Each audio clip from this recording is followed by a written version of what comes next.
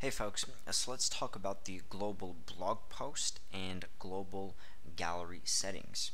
So to access these settings, you'd head on over to the Flotheme area, click on posts or click on galleries. Now I have two tabs open here. One is for post settings and the other one is with gallery settings. Regardless of your theme, regardless of blog posts or galleries, this process will remain the same. You have a few tabs at the top. One is called global layout the other one is called templates, and then another one called miscellaneous. The same would apply to your blog post settings. You have global, templates, and miscellaneous. In the following area, you determine the default layout for all of your blog posts and all of your galleries that you will be creating. Now, if you click on the templates tab, you'll see that we have a default post layout. If we head on over to our galleries, you'll see that we have two options available. Some themes may have two options, some three, some may have four, some only one, depending on your theme.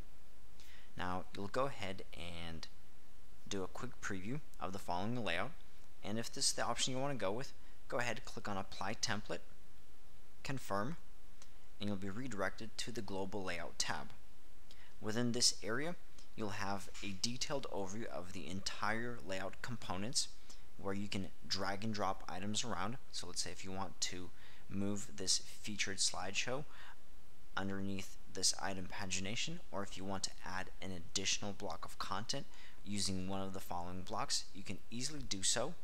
Once you've added in your block, you'll need to scroll up and click on Update. Now once you've updated your general gallery settings or your general blog post settings, every time you create a new blog post or a new gallery, you'll inherit the layout created within the Flotheme galleries area or within the Flotheme blog post section, depending on what you are creating.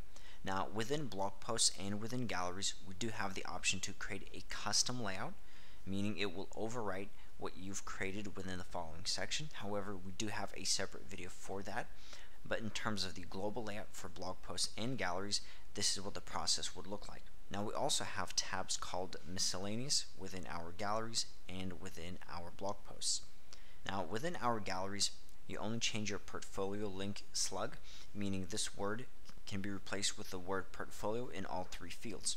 If we take a look at our blog post settings within the miscellaneous area, there are a few more options for us to adjust you choose whether or not you want to add by default a left or right hand sidebar to your blog post or just keep it standard full width and then manually add a sidebar if that would be required to a chosen blog post.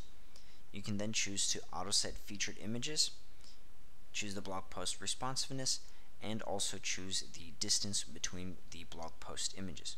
So this is the entire process of how to manage the generic layout for your blog posts and your galleries as well. Thanks for watching this video, and I'll see you around later.